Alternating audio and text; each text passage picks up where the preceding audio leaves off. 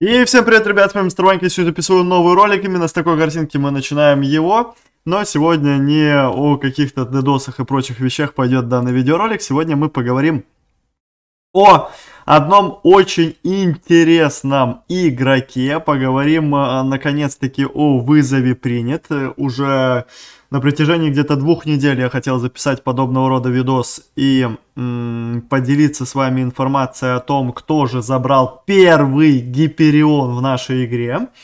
И удивился тому самому факту, что помимо того, что игрок забрал первый Гиперион, он, оказывается, еще и на своем аккаунте имеет Кризис XT. Это игрок с ником MRL Missoula, или, может быть, как-то по-другому читается этот никнейм, я точно не знаю, но в любом случае, если неправильно прочитал, то извиняюсь. Это игрок, который сумел на свой аккаунт забрать целых два новых уникальных дрона. И на сегодняшний момент времени Hyperion XT имеется только и лишь у него единственного, да, если вы сейчас начнете мне говорить, что там где-то на каком-то спецаке, либо у э, аккаунта разработчика этот дрон имеется, то, ну, я, конечно же, вам скажу, что это все равно все как бы несправедливо, нечестно, и лишь этот единственный игрок его получил заслуженно. Соответственно, Лишь один игрок на сегодняшний момент времени в нашей игре имеет этот дрон. И сегодня мы пройдемся по его профилю, посмотрим, э, что это вообще за игрок, потому что я лично вижу этот никнейм впервые. И эм, для меня, наверное, немножко удивительно, что подобный игрок забирает целых два уже уникальнейших дрона, но, похоже, интерес вокруг этих дронов тоже потихонечку-потихонечку начинает угасать. Хотя сейчас, если бы я бы зашел бы в нашу игру, то показал бы вам, какая рубка идет за новый кризис, который уже с итогами будет, получается, через два дня, да, то есть через два дня у нас будет уже итоги еще одного кризиса XT, и там есть как раз-таки э, мой подписчик, который борется за этот кризис, да, и по совместительству он также записывает еще и видосы. Автоданыч, надеюсь, э, у тебя получится забрать этот замечательный кризис. Не знаю, когда выйдет этот видеоролик, когда уже закончится рубка за еще один кризис, либо еще нет. Но в любом случае желаю тебе удачи и надеюсь, что ты его благополучно получишь. Так, ну а сегодня мы пройдемся по этому замечательному рейтингу. Также хотелось бы сказать, что если вы бы хотели видеть больше видосов, связанных с рейтингами, то обязательно не забывайте поддерживать данный видос лайком. Именно так я могу понять, что подобного рода видеоролики вам интересны. Ну и также не забывайте, конечно же, подписываться на канал.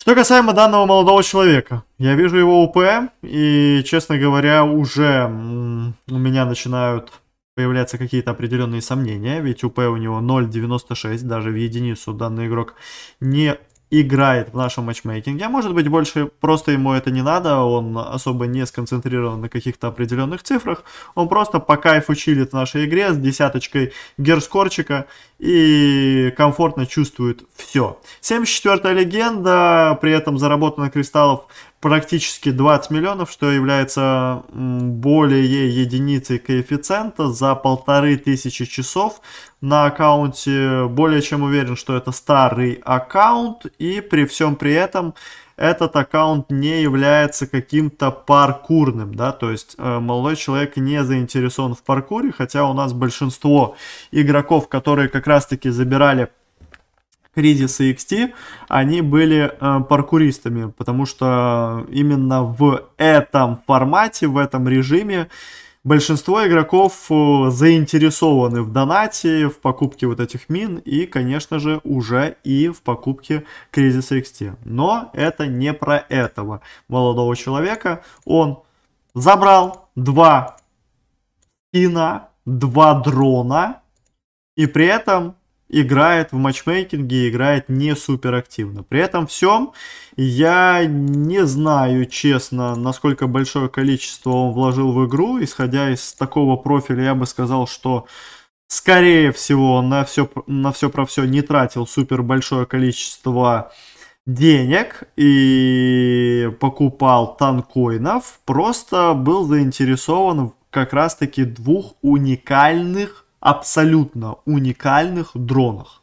Да, возможно, была какая-то неплохая покупочка в виде ультраконтейнеров на его аккаунте, но в целом я не вижу такого ничего сверх необычного, да, и при этом э, вижу также, что покупалось у него м- не такое большое количество звезд, да, 12 тысяч, 12 тысяч на сегодняшний момент времени это где-то около 20-30 тысяч э, танкоинов, плюс еще эти звезды можно было набивать самому, но исходя из его аккаунта, я могу сказать, что не так уж много он звезд набивает, да, потому что за 100 тысяч там, ну, не сказать, что там супер большие цифры будут, да, все-таки, если, например, сравнивать с каким-нибудь Борисом, либо Асы, которые там за неделю набивают по 400-500, а где-то даже 700-800 тысяч, то ситуация будет немножечко обстоять другим образом, но в целом, наверное, этого игрока все и так устраивает, и за относительно не такую большую цифру, потому что у нас за первые кризисы там и по 50 тысяч звезд покупалось, за 12 тысяч забрал заслуженно, закономерно, абсолютно свой заветный кризис и свой заветный гипериончик. По сути, э, не знаю, сколько он потратил как раз-таки на кризиса, но вот на гиперион за 12 тысяч сумел на свой аккаунт получить. И я считаю, что, ну, наверное, по цифрам это вполне себе неплохо, да, то есть это, например, даже те цифры, если бы я был бы, конечно, заинтересован в подобных дронах, да, то я бы, наверное, бы даже был бы готов потратить такое количество звезд, да, все-таки, ну, это не такие какие-то безумнейшие цифры, можно приобрести и получить на свой аккаунт. Ну, а что касаемо его профиля, то я удивлен, честно, я удивлен, что это обычный, дефолтный матчмейкинг плеер, который любит играть в захвате флага, который, э, возможно, любит повозить флажки, потому что такое, такая УПшка, ну, больше, наверное, как раз-таки подходит к игрокам, которые атакуют и которые не заинтересованы на своей УПшке, а заинтересованы именно в победе команды, получает два уникальных дрона. Возможно, в будущем появится что-то еще подобного рода уникальное, и он на свой аккаунт сумеет тоже это приобрести. При том, что с такими параметрами и с таким желанием, я думаю, что у него будут на все про все неплохие шансы. На сегодняшний момент времени у нас уже разыграно если я не ошибаюсь, 4 кризиса и один Гиперион XT. Да? Совсем скоро будет еще один новый обладатель кризиса. Но, как по мне, как по мне, пора уже выводить вызов принят на новый уровень, да. И когда я записываю подобного рода видосы, я постоянно говорю о том, что Первое и топ-10, потом топ-100 и топ-1000 этого явно мало для подобных мини-дополнительных ивентов в нашей игре. Я считаю, что если бы здесь были бы призы за топ-10, топ-20, топ-30, топ-40, 50 и так до 100, да, то есть за, каждый, за каждую десятку были бы дополнительные призы и призы, которые являются, возможно, уникальными какими-то новыми устройствами, да, либо просто предметами, которые являются редкими в нашей игре, да, тот же, например, гром на дальность, да, был бы там за топ-20 условно, да, то намного большее количество игроков было бы заинтересованы в этом вызове принят, и намного большее количество игроков концентрировала бы свое внимание вокруг всего этого ивентика. А пока мы имеем ситуацию, где игроки борются лишь за топ первое место, все остальные призы являются не столь актуальными и не столь интересными, и, соответственно, вот такие вот игроки забирают на сегодняшний день уже два уникальных дрона на свой аккаунт. Пишите, что вы думаете по поводу этого игрока, по поводу всей ситуации в целом.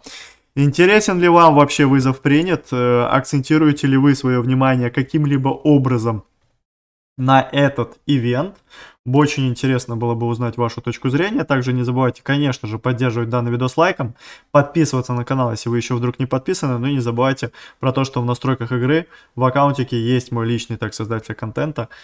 ТМП, устанавливайте его, поддерживайте меня и участвуйте в розыгрыше на 1 миллион кристаллов на 20 тысяч коинов. Вся информация по розыгрышу есть в описании. У меня, друзья, на этом все. Всем спасибо за просмотр, всем удачи и всем пока.